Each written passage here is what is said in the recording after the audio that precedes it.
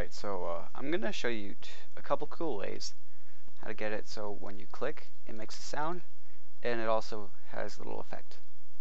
So uh, I'll put a link in the description to this file.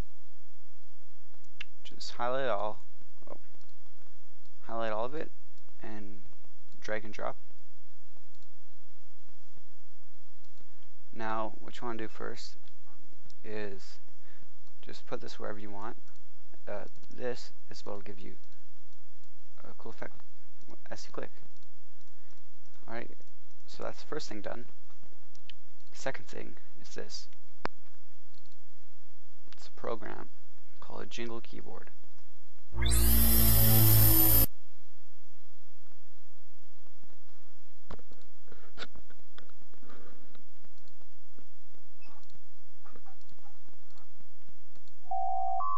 So I already have it installed as you can see, so I'm just going to replace it.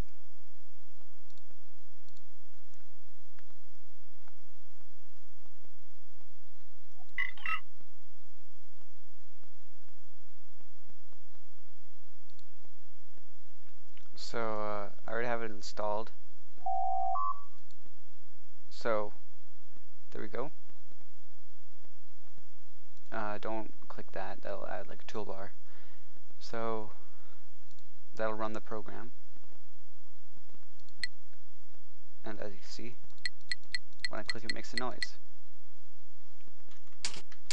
That's what sounds like when I hit a button too. Honestly, I hate this sound.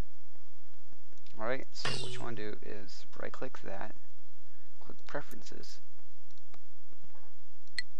Now, I'm going to unhighlight this, this, this, this. Basically, I'm going to highlight all of it because I hate it, alright? Hate it. Except for left mouse button and right mouse button. Now I'm making a new folder called sounds. Okay, so you want to take this, this, this, highlight all, put into sounds. Now, these are awesome mouse sounds that I got. Now you want to click find sound. Okay. Desktop. Go into sounds and HD click. This is my favorite. Alright. So you can hear it already. It sounds way better. Uh, so go to desktop, sounds, HD click, set that for mouse 1 mouse 2. Now, I also have included two other sounds, uh, beep sound, that's what it is,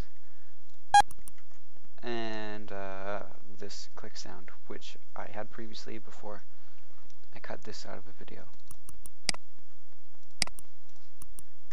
I really like the HD click, but you can use these if you want. Now, there's also an alternative for this effect, the uh, droplet. It is cursor effects. So, you want to click this, just delete this. Uh, so what you want to do is, on this, it'll install it.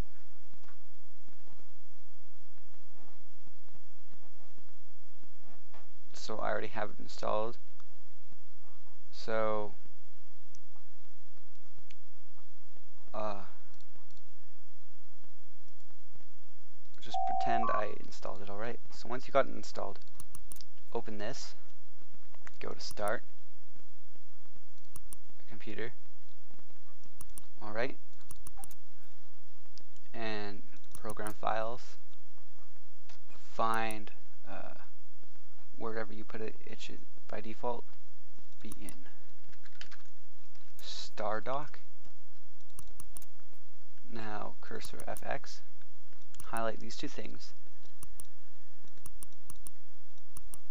alright drag and drop into here click replace continue.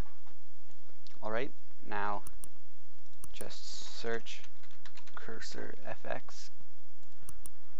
Alright. Open it. and now these are a bunch of mouses, cursors I should say, that I've imported. You, if you click uh, settings, no more cursors, that's what it is. Click this, it'll bring you to a website, and here there's millions and millions of cursors. Well, 259 to be exact. But anyways, um, so that's pretty much it. Once you've downloaded a cursor, just run it, and then it'll go into the cursors file. Now, uh, basically, you can't use this one, it's the default, it'll keep your mouse the same.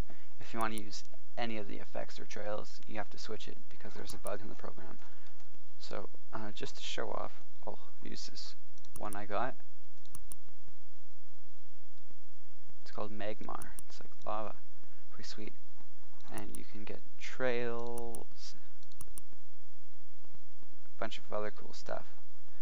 So yeah, um, I just, I don't really use this, but it's here if you want it. So uh, I use the default.